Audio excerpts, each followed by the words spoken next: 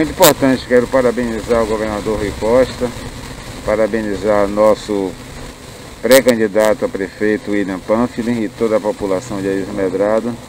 Esse é um benefício importante, né? uma parceria também com o deputado estadual Dal. E a agricultura familiar só tem a ganhar com mais esse investimento. Quero parabenizar todos os dirigentes municipais de educação na pessoa de nosso amigo William e parabenizar todos os professores, que foi uma campanha fantástica. Você tem ideia, a gente contou os votos lá e a gente não ia chegar a 200 votos.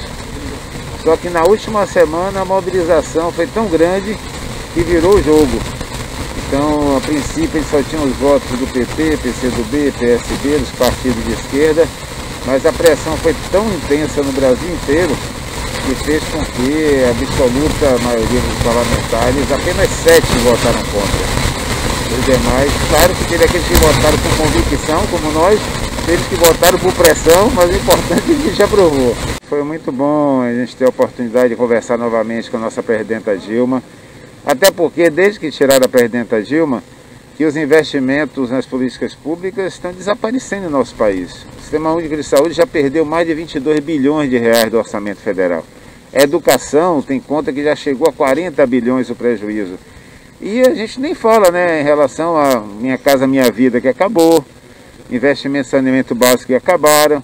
Então a presidenta Dilma deixa saudade, foi bom revê-la e, e, o povo brasileiro está percebendo o prejuízo que tem sido os governos Temer e agora Bolsonaro. E essa pandemia é a maior crise sanitária que o mundo atravessa em 100 anos. Nós não temos ainda vacina, não temos medicamento. A única arma que nós temos é o isolamento, é o distanciamento físico são as medidas de higiene, é o uso obrigatório de máscaras, como nós estamos aqui utilizando, é a lavagem regular das mãos, o uso de álcool gel.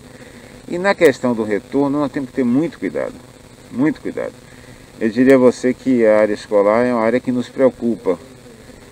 Claro que são situações diferentes. Você pega, por exemplo, um aluno de segundo grau, ele já tem maior discernimento, iniciativa e maior capacidade de se proteger e seguir as medidas de proteção. Mas crianças mais novas, né? A estrutura é, você imagine... também é bem melhor do que a dos municípios, né? Exatamente. Prédios, Mas você imagine como é que você consegue manter crianças. Eu, eu falo por conta própria, sou avô, eu tenho um filho, tenho um neto de 3 anos de idade, passou comigo alguns dias em isolamento e foi dificuldade. Felizmente ele não estava contaminado, senão a casa toda tinha sido contaminada de vírus. Você não consegue conter uma criança né, pequena nas primeiras classes da educação. Agora, de segundo grau é outra realidade. Da mesma forma que você lembrou, a estrutura dos colégios estaduais, em geral, é mais preparada. Mas mesmo assim, mesmo assim, mesmo segundo grau, universidade, os países que estão tendo retorno, você tem visto, né? os cuidados são muito intensos. Reduz o número de alunos por sala de aula, reduz o número de aulas por semana presenciais, faz com que os cuidados de higiene sejam intensificados.